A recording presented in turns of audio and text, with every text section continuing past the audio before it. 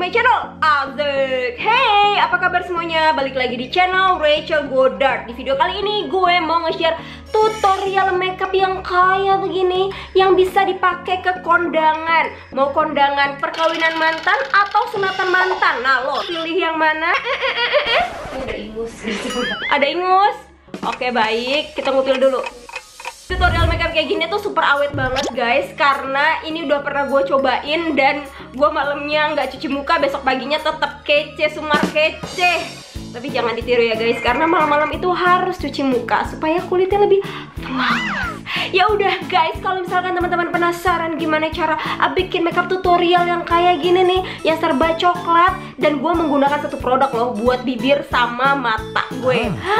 Langsung aja aja jempolnya nanda aja jempolnya nanda like dulu dong videonya abis itu subscribe dan share ke seluruh sosial media yang kalian punya and now let's move on to the tutorial. Sebelum mulai makeup gue mau nyemprotin MAC Fix Plus sampai basah sampai becek sebecek jalanan komplek. Biar makeupnya tahan lebih lama buat yang punya kulit kombinasi atau berminyak gue sangat menyarankan pakai Aquasil ini. Kalau gue kan kulitnya kombinasi jadi gue cuman taruh di bagian daerah T. Sebelum pakai foundation gue mau pakai base foundation dulu. Ini dicampurin Maresca sama Mouve yang Aquasil tadi untuk pakaiin foundation biasain dimulainya tuh dari pertengahan muka sini. Terus dibaur ke bawah baru ditaruh di jidat. Soalnya kalau di bagian sini tuh kayak paling banyak yang harus ditutupin gitu kan porsinya lebih gede terus kadang-kadang suka ada rush atau jerawat. Baru terakhir di bagian jidat. Saran gue kalau lo pengen makeup yang tahan lama banget jangan pelit buat nyemprotin fix plusnya si MAC ini. Terus gue mau pakai lip balm dari Oriflame ini udah tinggal dikit banget karena gue suka banget pakai lip balm ini terutama buat ngapus lipstick matte. Foundation yang mau gue pakai ini dari Estee Lauder tapi karena ini warnanya masih keterangan di kulit gue jadi mau nggak mau gue harus nyampurin sama yang LA Girl yang ini. Ini gue pakainya tipis saja nggak mau yang tebel-tebel. Karena tadi kan udah dipakein foundation yang bener-bener buat tahan lama banget cuma warnanya tuh masih kegelapan sama kulit gue ini udah full coverage versi Rachel Goddard. Gue nggak mungkin nambahin lagi karena you guys know gue suka makeup yang masih kelihatan pori-porinya. Dan sekarang gue mau pakein alis cuman karena gue udah pernah bikin cara bikin alis yang lebih on point dengan produk-produk lokal teman-teman bisa klik di sini kalau misalkan mau nonton. Ya udah kita langsung percepat aja ya Bam! Wih, alis udah jadi. Sekarang gue mau kontur hidung. Um, Jadi ini setiap gue kontur hidungnya kayak gini Pasti banyak banget netizen yang komen Kak, abis oplas di mana? Padahal serius ini cuman kontur hidung. Syaratnya biar kelihatan lebih tinggi Itu konturnya bener-bener dari ujung sini sampai deket alis. Dan gue gak mau tebal-tebal juga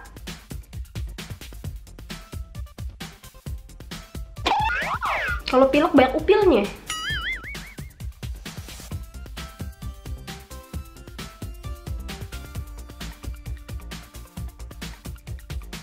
Highlightnya gue cuman pakai di hidung karena gue lagi anti concealer dan emang gue jarang banget pakai concealer. karena nggak tahu kenapa menurut gue kayak berat aja gitu kalau pakai concealer so gue cuman pakein di hidung aja Buat ngeset semua, gue mau pakai bedak tabur. Ini bener-bener ditekan-tekan aja ya guys, jangan digeser.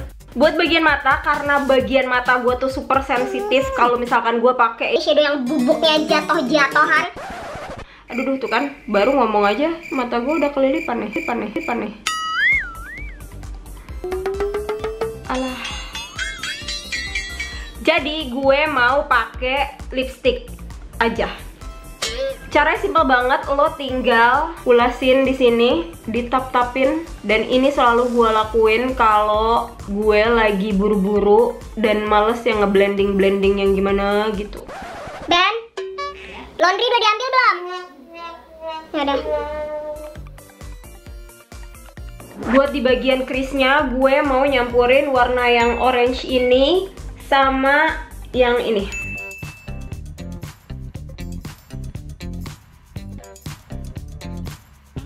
Nah buat bingkai matanya gue cuman mau pakai eyeliner dari ujung sampai pertengahan mata Jadi nggak di fullin seluruh matanya Kalau buat bagian dalam matanya, gue cuman mau pakai eyeliner warna coklat di bagian luar ke bagian tengah. Lanjut gue mau pakai bedak terakhir. Jadi ini biasanya kan gue pakai kuas yang besar, tapi karena gue pengen tahan lebih lama, jadi gue pakai sponge di dalamnya. Sebenarnya ini sponsnya Shimura, bukan sponsnya MAC cuman karena itu nggak ada nggak jual jadinya ya udah gue beli yang Shimura cuma gue merasa rada rugi soalnya yang bisa dipakai cuma satu sisi. Sedangkan satu sisinya lagi tuh beda gitu kayak bukan buat sponge bedak. Kalau yang punyanya Mac kan atas bawah bisa dipakai. Blush on! Buat blush on ini gue selalu pakai Milani blush ini. Udah lama banget. Dan ini udah produk gue kedua apa ketiga gue lupa. Karena gue emang seluf itu sama Milani blush. Gue mau benerin konturnya lebih dalam lagi lebih deep lagi.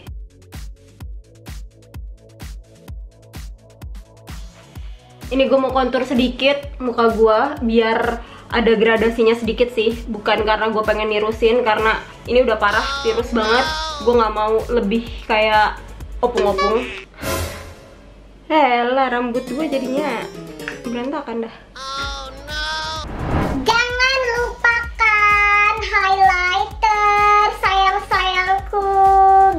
gila gila ini highlighter high end yang lagi gue suka. Ini tuh MAC uh, X Sarah Ayu sama yang Fix Plus ya tadi itu juga gue pakein. Kalau buat yang si MAC yang mineralized highlighter ini itu tuh katanya nggak boleh digeser. Jadi emang cuman buat ditap-tapin gitu. Jangan lupa ditaruh di bahu juga. Di bagian tulang Iya, sebanyak itu di bagian ujung hidung karena gue suka banget naro di bagian sini. Terakhir gue mau pakai lipstick. Ini lipstick yang gue cuman sekali pakai, tapi kayak sayang gitu. Ternyata warnanya bagus, cuman emang rada berat gitu kalau buat dipakai sehari-hari. Jadi kayak emang yang harus event yang besar yang kayak kondangan gitu yang kita makannya cuman secomot-comot. Oke okay guys, ini dia makeup looknya. Gimana teman-teman suka atau enggak dengan look yang kayak gini? Kalau suka jangan lupa ya kasih like videonya. Dan kalau teman-teman punya special request nih Gue pengen bikin makeup yang kayak gimana Atau nge-review jujur Buy or buy Langsung komen di bawah Karena gue adalah hamba netizen. Gue bakal dengerin apa kata netizen. Asik. Jangan lupa juga untuk komen Karena gue bakalan bum love komen-komen kalian. Dan kalau teman-teman ketinggalan video gue sebelumnya bisa klik di atas atau di bawah sini. Eh jangan lupa juga buat subscribe karena ada dua video baru setiap hari Senin dan hari Kamis. Aktifin juga ya notifikasi aktifin juga ya notifikasinya. And once again thank you so much for watching. I'll see you on my next video. Stay kece bye bye bye bye